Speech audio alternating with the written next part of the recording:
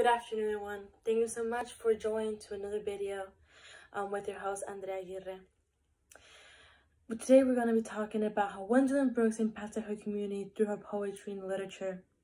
Who am I before we get started?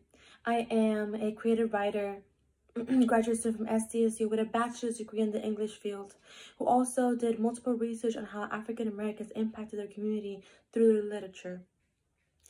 Again, ladies and gentlemen, we're going to be talking about how Gwendolyn Brooks impacted her community through poetry. What is poetry?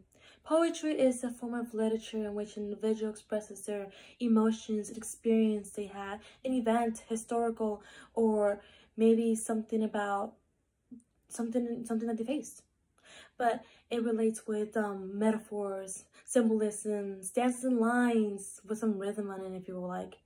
But mostly it it's a beautiful form of art in which it lets the individual share these ideas to the audience and impacts them emotionally and intellectually. So, today we have three questions in which I'll be explaining more with more details about. But our first question is, what is considered a standard factual history overview of Gwendolyn Brooks and her poetry and the relevance to the American African American community in the past? So Gwendolyn Brooks was born in Topeka, Kansas. She was a poet and educator who found the black identity as profound and beautiful. According to Jaster's article, one of her interviews she had, she expressed how poetry is distilled, meaning that her poetry embodied with the black identity has a lot of meaning. It's it's strong and powerful. It holds meaning to her. And that's what she was, that's, all those poems that she had was expressed through her community in, Chicago and, and the black identity as well.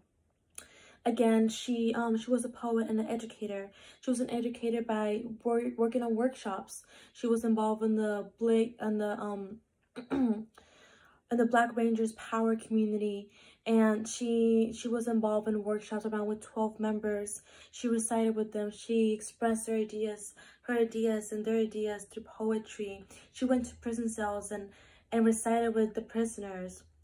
And she didn't find any any fear with them. She found humanity in the worst places.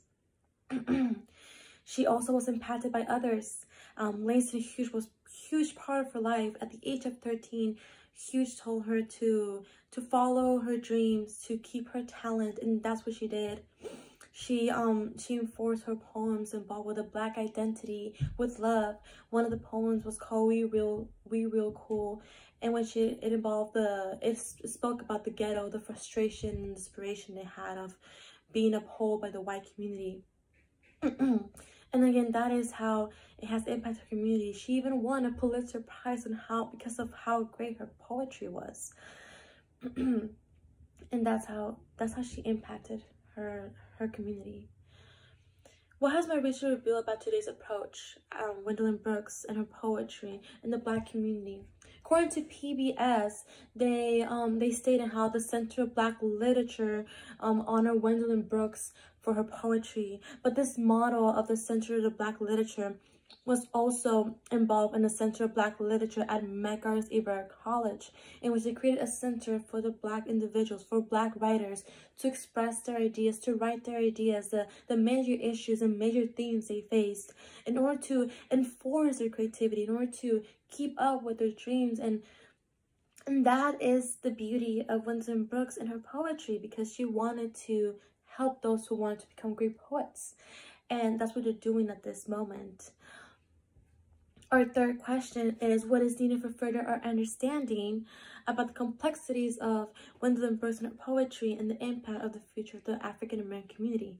So according to Kalisha Trice, she explains five reasons and how Black history, Black poetry and literature has impacted their communities.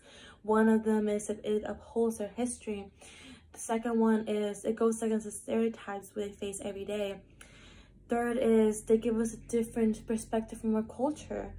Um, fourth is they represent something that a lot of schools do not teach you. They do not teach you about the feelings and the historical event that we're facing during that moment. They don't tell you about um, these emotions that we're trying to express to the audience. But if you read them, you are able to expand your intellectual, but even relate to the individual or just understand their feelings. And lastly, it represents the people of color in the literature, literary um, sphere. Sorry. Today, we are faced with COVID-19 and again, a, a, different way in which poetry is so important is because today's day, a lot of individuals are faced with fear.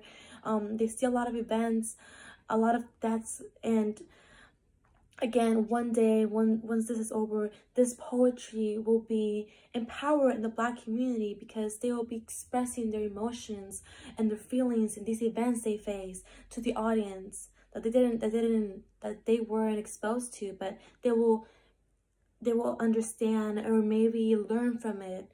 And it's because of poetry, this beauty of poetry that Gwendolyn Brooks had in her past, but how it has impacted in today's date. Before we end this video, I want to show my references. Um, I do have a couple of references right here. So the references that I have. And again, thank you so much for listening, guys, and hope to see you soon.